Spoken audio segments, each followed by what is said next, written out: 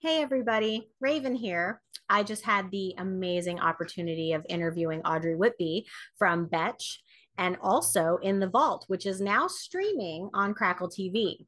Season one is up right now, and you better tune in because season two starts August 18th. Stay tuned, listen in, enjoy the interview. Hey, everybody. Um, I am here today with the amazing Audrey Whitby. Um, so we're just going to kind of sit down and, and chat and, and have some fun and talk about the ongoings of your career, life, whatever you want to talk about. This is going to be a fun time. Um, well, I love to talk. So, as we've learned. Yes. Um, and thank you, by the way, again, just for being here it's gonna be so much fun. I'm so excited. Thank you for having me. Seriously, I'm so excited to chat to you.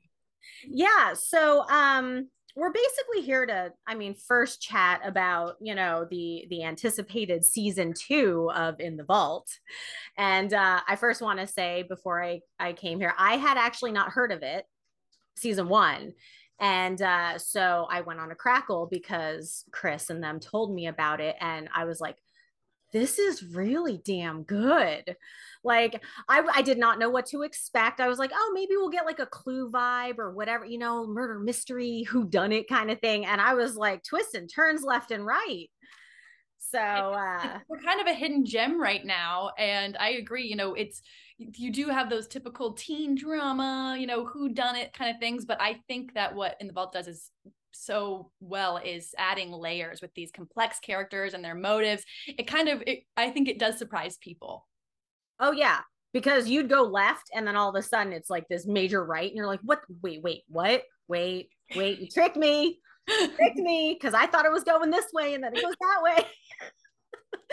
so and and the acting as well because you know sometimes when you go oh it's a college show you know it's gonna be uh, campy whatever it had campiness to it but it was the good campiness you know? It's the aware. It, you know i've always i mean my favorite movie is scream. And so i've always loved I, things that are a little bit tongue-in-cheek and a little self-aware. And i think that we picked the perfect moments to be kind of deprecating about the genre on a whole. And, and you're right i've got some of the I mean, all of the actors that we worked with are just so talented. You have, you know, Caleb Castille and Timothy Granaderos and all sorts of, you know, Jack Bernard, all sorts of really, really talented um, young actors who are all going on to do great things. Definitely for sure. I i see big things for everybody. Um and it's just but it is great you know the whole tongue-in-cheek thing you're absolutely right. It just it felt like i said it had that little bit of oh ha ha but then it also gave you it, it it's hard to explain because i watch a lot of tv obviously because you know, if I do interviews, I kind of have to know what's going on. You know, you can't just walk in and be like, what? TV is my favorite hobby. Um, yeah, it's a great hobby to have. Um, Why knit? Yeah, so you you know there are some things out there, and you know this is it's it's C, you know, not B rated. You're just like see, you're like, what am I watching? But some of them are great too, you know. So it's like, but this this was definitely A. I enjoyed season one so much. So thank you for that. Uh, ending. Wow. Uh,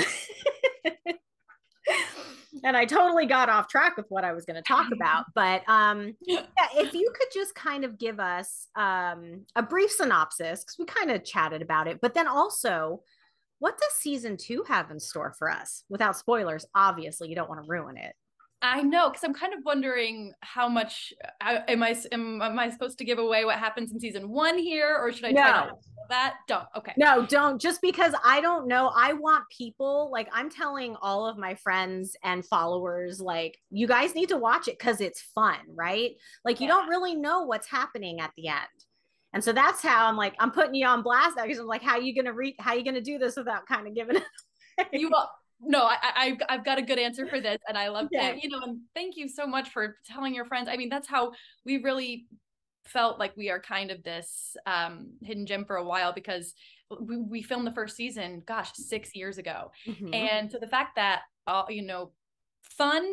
I, I always say that there are two things that read really well on camera, and that is like tension and fun, and I think it's obvious how much fun we were having as a cast, as a crew. Um, and so yeah i uh for people watching it is uh, a good time but season one surrounds um, the tragic death of a woodlawn freshman and uh, each episode follows one of their surviving um, dorm mates hall mates if you will um, and to kind of give their side of the story or their motive. So you know you're a protagonist one week you're a suspect the next everybody's got um, reasons to be suspicious of each other. Um, it's full of secrets and like thrills and i think it's also kind of a very pretty show. We got to film in utah and it's gorgeous. So yeah that's kind of what the show is about um, in a general sense. That that was good. That was good. You left it very open. Nobody really knows what's happening. Um, I did have to say it was really beautiful. And that that campus looked familiar. I don't know was that something where do you know if anything had been filmed there? Because that that general meeting room like with all the couches it looked very familiar to me unless if it was more reminiscent of something and it was just in my head. But do you happen to know so that was actually a built set on okay. a sound stage. So we spent the first three weeks. Uh, a lot of our outside shots or our location shots were at this. I'm blanking on the name, but this really um, great college um, in Salt Lake, and then we went to, to Park City where they have these gorgeous stages, and they built those sets. And I mean, I'm pretty sure it's like Hogwarts inspired. It's we had closed ceilings, which is pretty cool for a set uh, for a season. And also, our director Charles uh, Hood and Ben Epstein were very um, specific and invested on the style of the show, and I think that that really comes through because it's just beautiful. Like some of we have these one shots that are just gorgeous, and yeah. Yeah, it was just, it was so beautiful. I was like, oh, I had a feeling it was somewhere around because it just there's I've been there before, like Salt Lake and and in the vicinity, and it's just it's such a gorgeous place to be. So even even if you know they they tore down the soundstage and y'all want to go visit, I definitely recommend it. It's super pretty. the first season was in Utah. The second season, I guess this doesn't spoil too much. We um filmed in Oregon, so it's like near Portland. Oh. And so seriously, it's like the two coolest places ever um I know that we got to film and they're all very moody. You know, uh-huh. I'm from the Twilight generation. Mm-hmm. So I couldn't, uh, you know, everywhere we were driving around, it's just like super-massive black hole, Bella's Lullaby, all that stuff. Yep. yep. Yep, I totally get it. I actually drove through Forks once and got pulled over by a cop. So I told everybody I got pulled over by Charlie. this was when the books were out. The movie didn't even come out yet. So this is like, this was free. And everybody's like, what are you talking about? And then afterwards, they're like, oh, I get it now. you were an OG. Oh, yeah. I'm super OG. It's, uh, I don't know if I should say that or not, but yes, I am, you know, admit, admit the things. It's fine. I love it. Um, so what can you actually tell us about season two? I mean, that's kind of tough because, but yeah, what? We have uh, oh my gosh. Well, I can say that we have some really interesting new students coming to Woodlawn. Hmm. Um, Rachel Hilson joins the cast. She's just so talented, and acting with her, I was like, masterclass. I just was like, I had to remember that I was in the scene too, because I would just be looking at her like, she's so good. Um, and you know, Arienne Mandi's there, and, and she's incredible, and on the L word, and um, and then we have Dominic Columbus, who's also doing incredible things. And so these people, you know, we have some very exciting new characters that come in and definitely stir things up and want to get to the bottom of things. Uh, it's this season is less about who done it and more about exploring um, who will find out. You know, there's a lot of suspense and tension around if um, people will be able to keep their secrets, which I think can be even more exciting in a lot of ways. And there's all sorts of typical college partying and um, yeah, it's it's still good. Well, because there's so many avenues that this can go down. You know what I mean? And again, so you're getting the twists and turns that you got from season one. It's just in a different context. So, yeah. and that makes it even more hectic, crazy, anxiety driven, you know, and that's all the things that you want from murder mysteries, you know, dramas, things like that. Reading the scripts, it was like I, you know, I, I wasn't gonna I was I don't know what's going to happen next. And um yeah, exactly. I think that it definitely keeps up that idea of everybody can have their own opinion and chat about what they think is going to happen next and it's probably not what's actually going to happen because it is so out of left field most of the time um, but yeah it definitely keeps up that conversation going well, I'm definitely looking forward to it. And I'm sure a lot of other people are because that actually takes me to my next question. Um, when I was doing some research about the show, um, I had actually found some tweets, actually, a lot of tweets where a lot of people were like, I can't find any place to watch this. And this is going in the past. Obviously, Crackle has picked this up, which thank God they did because. Thank you, Crackle. We love I, you. Crackle. I wouldn't have known. I would number one wouldn't have known about it. Number two, wouldn't have known where to watch it if someone said, "Oh yeah, I had watched this like you know fun kind of show this one time," and I was like, "Well, where do I watch it?" I don't know, but there were a lot of people that had tweeted, and I, I think this actually went to like 2017, 28, no 2018, were you know some of them. And uh, so all the way back then, still people talking about it where they're like, we just want to watch it. And so many people tuned in when it was first available. Um, so, how does it feel to have all of these people wanting to watch it and see it, and then also tune in and be so excited for this new season? I, I couldn't be more grateful for the viewers we have. I think we're like the we are the most watched new show on Crackle, three million plus people mm-hmm. watching, and yeah, I'm just incredibly thankful for that's a long time. That's dedication to, you know, remember um, our show and what we did and to want to keep up with it. Yeah, obviously the original platform we were on is uh, a no longer a thing, uh, but that's okay. And what I'm really just most excited for is we put, you know, sometimes you're on a set and you know it's it's it's a job and other times you're on a set and you know it's um, people's passion and i think that that's what happened here. Everybody was just very dedicated. And but on top of that, you know, having a good time at the same time. You know, uh, so I'm just really excited that the audience gets to be a part of that and that everybody gets to see kind of the dedication of our crew and our cast and our writers and and Ben Epstein and Charles Hood and what they've really done. And that's it's a, it's an incredible feeling. It's really nice. So how was it to because again there was such a long period of time in between freshman year and sophomore year.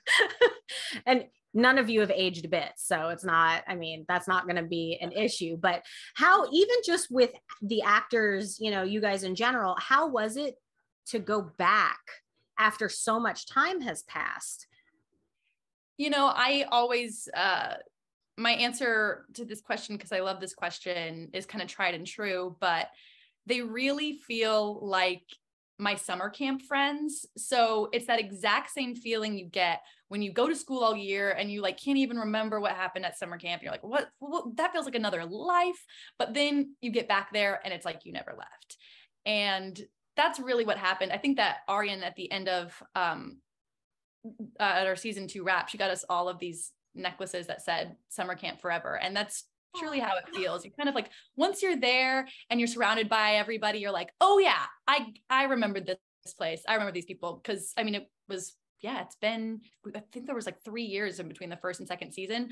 Um, but yeah, it's very much so like my college experience in a lot of ways well again we're really looking forward to it. And it, it really did seem with the way like the dynamics and everything you guys just seem to all work really well together.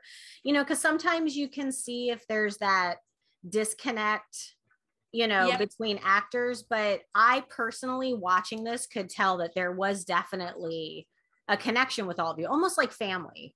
You know it really did vibe location bonding or location location shooting is very bonding because you know you're all there you're staying in the same place it does feel like a dorm in a lot of ways and I think we're lucky enough with this cast is that, you know, I've been doing this long enough now and I've worked in the traditional space too.